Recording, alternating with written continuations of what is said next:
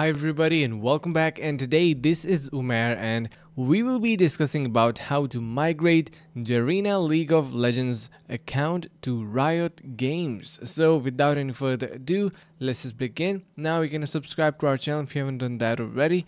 So what you can do is to link your Garena to Riot accounts. So it is quite simple. First of all, you of course need to log into both of your accounts. Then you're going to be selecting the start linkage to account in linkage page. So simply head over to your linkage page as you can see in here you might be directed to follow a series of prompts regarding your Garena account. So you need to follow the process that is basically officially highlighted and you also need to complete these. So once you simply confirm your desired League of Legends Garena account, remember the accounts can only be linked once. So this is extremely important that if you are trying to link the accounts the two accounts you should be really careful about the account that you want to link since the process might not be reversible and you cannot uh, simply link that again and again. So for the prompts and prepare your account for linkage and then continue. If everything looks uh, right click the link account